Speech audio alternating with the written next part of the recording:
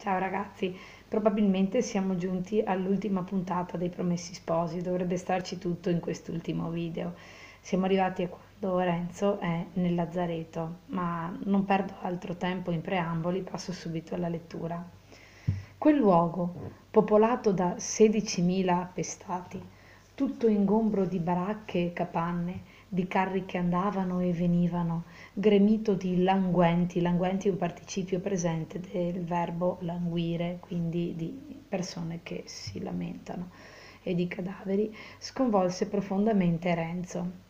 E mentre andava sbirciando commosso tra le capanne in quell'immenso covile di sofferenti, incontrò fra Cristoforo era stato fatto allontanare dal convento dal cugino di don Rodrigo, il conte Attilio, sempre quello famoso della scommessa, che aveva richiesto a suo zio, membro del consiglio segreto, di trasferire il cappuccino a Rimini. Chi era il cappuccino, Ettore? Era appunto... Il cappuccino è, è, un, è tipo un è un frate. Quindi è fra Cristoforo, non volevo essere sicura che qualcuno non pensasse che fossimo al Il bar. caffè.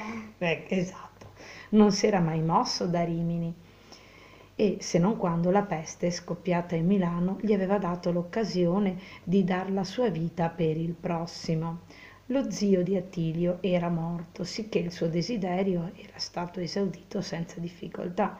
Oh, padre Cristoforo, disse Renzo quando gli fu vicino, tu qui, disse il frate, come state, padre? Eh, meglio di tanti poverini che tu vedi, ma tu cosa fai qui? Vengo a cercare Lucia. Lucia, è qui Lucia? È qui, almeno spero in, Dio che ci sia ancora. È tua moglie. Oh, caro padre, non sa nulla di quello che è accaduto. No, figliolo, da che Dio mi ha allontanato da voi altri, io non ho più saputo nulla. Renzo iniziò allora a raccontargli del ricovero nel monastero, del rapimento, delle sue giornate a Milano, della fuga. E son qui, concluse, a cercarla, a vedere se è viva. Se non la trovi, disse il frate, se non la trovo vedo di trovare qualche d'un altro, o in Milano, nel suo scellerato palazzo, o in capo al mondo, quel birbone che, se non fosse stato per lui, Lucia sarebbe mia da mesi, e se lo trovo, se la peste non ha già fatto giustizia. Sciagurato, gridò padre Cristoforo. Guarda chi è che castiga, disse accennando alla dolorosa scena che regnava intorno. Tu hai la vendetta in cuore. Vattene mi ricordo che fra Cristoforo, per una questione di onore, aveva compiuto un omicidio e da lì si era pentito talmente tanto che si è voluto far frate, appunto. Ora una domanda. Mm. Perché una volta chiamavano tutti questi frati padre? Eh beh, come i religiosi è un modo per dire padre spirituale perché avevano una funzione di guida spirituale. Lui per, per Lucia era questo, una guida spirituale come un padre capito? Ma un prepotente come quello, zitto, devi perdonare, vieni con me, ti farò vedere a chi volevi far del male. Probabilmente lo porta proprio da Don Rodrigo per fargli capire che stava già male. E presa la mano di Renzo lo condusse in una capanna dove, su un materasso, involtato in un lenzuolo, con una coppa signorile indosso, stava Don Rodrigo aveva gli occhi spalancati ma senza sguardo, il viso pallido e coperto di macchie nere, le labbra gonfie. Il petto si sollevava in un respiro affannoso, le dita erano livide e nere in punta. Guarda, disse il frate, è qui da quattro giorni, come tu lo vedi. Forse la salvezza di quest'uomo e la tua dipende ora da te, da un tuo sentimento di perdono, di compassione. Torniamo ancora al principio Dio perdona tante cose per un'opera di misericordia. Chi lo aveva detto? Lo aveva detto Lucia, Lucia. Al, a un cattivo dal quale voleva farsi liberare, che era, Ah, era l'innominato. era l'innominato. Tacque e iniziò a pregare. Renzo fece lo stesso. Poco dopo scoccò la campana. I due si mossero e il frate disse: Va ora, Va preparato a lodar Dio qualunque sia l'esito delle tue ricerche e poi vieni a darmene notizia. Renzo si avviò verso la chiesa che gli era stata indicata da fra Cristoforo per vedere se Lucia fosse tra quei pochi fortunati che erano guariti, ma non la trovò. Ormai quello che ci poteva essere di meglio era di trovare Lucia ammalata. Così si diresse verso il quartiere delle donne. Aveva già fatto non so quanta strada ed iniziava ormai a perdere ogni speranza, quando, poggiandosi ad una parete, gli venne all'orecchio una voce. In tre salti fu all'uscio della capanna e vide Lucia chinata sopra un lettuccio. Lucia, v'ho trovata, siete proprio voi, siete viva, gridò. Oh Signore benedetto, replicò Lucia, voi perché? E la peste? E l'ho avuta e voi? E anch'io? E mia madre? Non l'ho vista perché è in un altro paese. Credo però che stia bene. Ma voi come siete pallida, come parete debole. Guarita però, siete guarita. Il Signore mi ha voluto lasciare qua giù. Ah Renzo, perché siete qui? Non avete saputo del voto? Eh sì, purtroppo. Ma già che sapevate, perché siete venuto a cercarmi? Oh Lucia, perché? Perché venire, mi dite, dopo tante promesse? Ma Renzo, ho fatto una promessa alla Madonna. Credete che la Madonna voglia promesse in danno del prossimo? Per una parola scappata in un momento che non sapevate quel che dicevate, promettete piuttosto che la prima figlia che avremo la chiamerete Maria. No, no, non dite così, non lo sapete voi cosa sia fare un voto, andate, andate per amor del cielo. Lucia, sentite, disse Renzo, il padre Cristoforo mi ha detto che è qui, l'ha avuta la peste. Purtroppo ho paura che l'abbia adesso. Gira, assiste gli altri, ma se lo vedeste che colore ha, come si regge.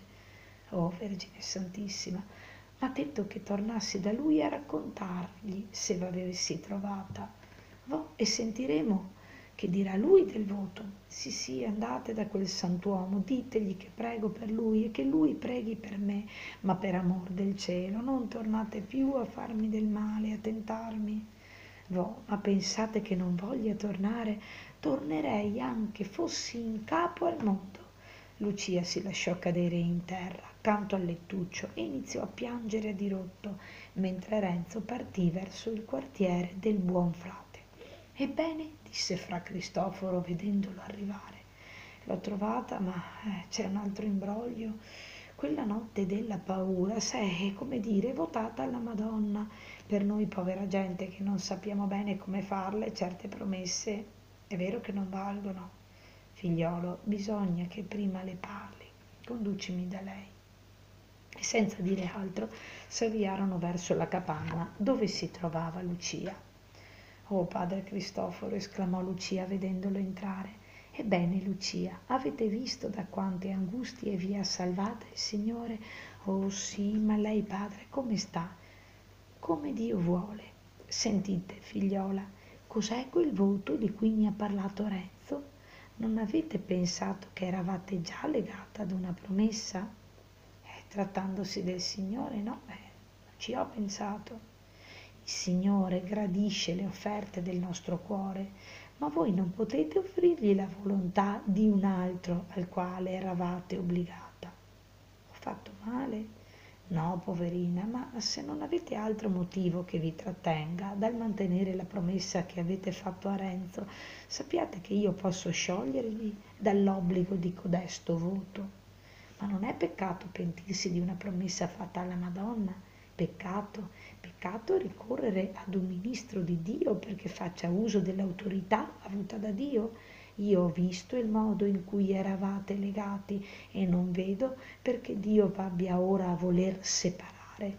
E se mi chiedete che io sciolga da codesto voto, non esiterò a farlo. Allora, allora lo chiedo, confermò Lucia.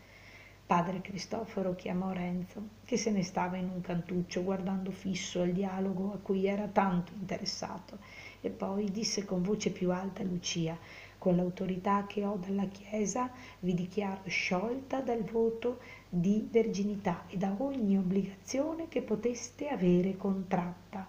Poi, rivolgendosi a Renzo, amatevi come compagni di viaggio, con questo pensiero da avere a lasciarvi e con la speranza di ritrovarvi per sempre.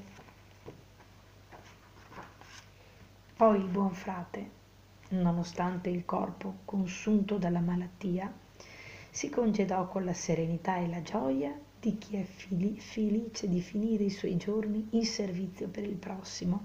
Quindi avete capito che si salutano, ma capiamo che di lì a poco Fra Cristoforo non ce la farà.